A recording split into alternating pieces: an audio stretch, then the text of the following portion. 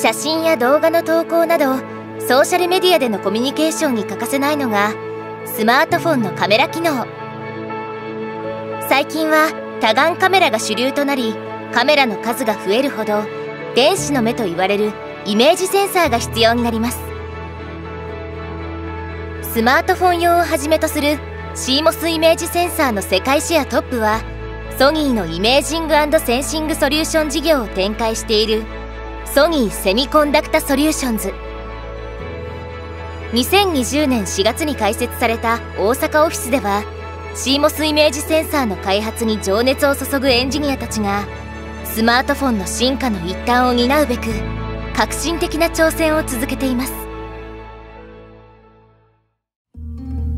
ソニーセミコンダクターソリューションズというところは新しい技術を作っていたりとかあとはその業界のトップにずっとこう居続けているクリエイティブでありかつチャレンジを続けている会社だなというふうに思ってます。目標は同じ製品化するっていうところに対してあの非常に皆さん謙虚で、まあ、個性が強い中にもそういう、えっと、協力し合って一つのものを作り上げていくっていうところはいい意味でイメージがちょっと違ってたっていうところはありますね。働いてみると結構あのみんな助けてくれると言いますか優しくですね教えてくれるんで、はい、仕事はやりやすいですね。まあ皆さんあの自主的に取り組まれてたりとかやる気を持って進められる方が多いので、まあ若い方でもあのどんどんと業務に入っていったりとか活躍されているという印象もあります。まあ、この大阪オフィスはエンジニア第一を考えて設計をしました。毎日こう会社に来ても新鮮な気持ちで、まあ、業務ができるように工夫したりとかちょっと座ってみたいとかそういう感性をあの重視して家具っていうのは選びました。議論したい時はあのハイデスク使ったりして、まあ、何人かで議論しながらも仕事できますし、まあ、技術者なんでこもって仕事したい時もあるんですね。そういう時はあの集中できるスペースもありますんでまあ、そういうところで仕事することもあります。全体で、えっと、重要な情報をまあ共有したい議論とかも深めたいっていった場合はこういうセミナーのスペースを活用してますね。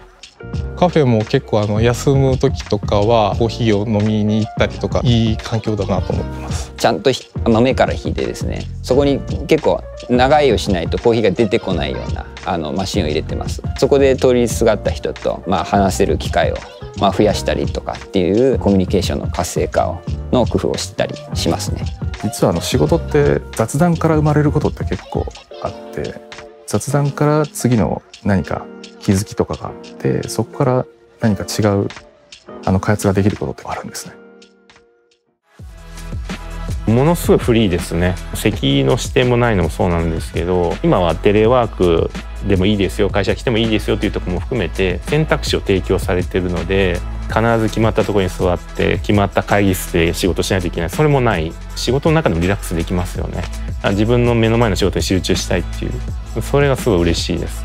教育面のところも、えーと、非常に充実してましてメール等でいろいろなそのセミナーの案内などが日々届くような状況になってます。受けたいものを随時こう選ぶことができますので、まあ、自分が積極的に取り組めるんであれば多くの研修というところを受けれる環境にあると思ってます自分で立候補さえすればある程度結構こんなことやっていいのぐらいのところまであのやらせてもらえるっていうのはすごく魅力的かなって思います中途の方でもあの入って間もなくリーダーを担当されたりであったりとかやる気がある人実力がある人がどんどんと活躍できるというふうな環境だなというふうに思ってます。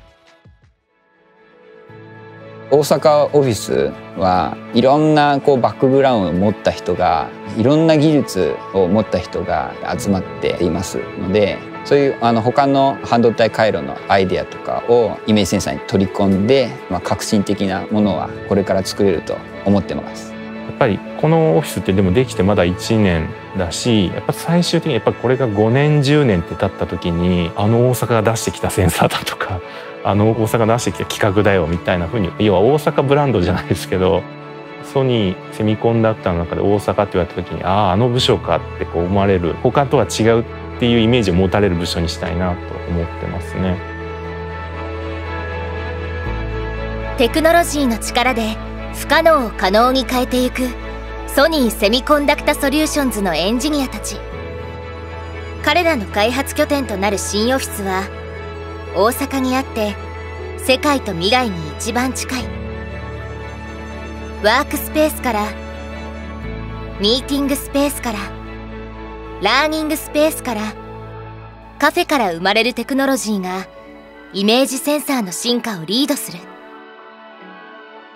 ソニーセミコンダクタソリューションズ大阪オフィス。ここから始まる革新で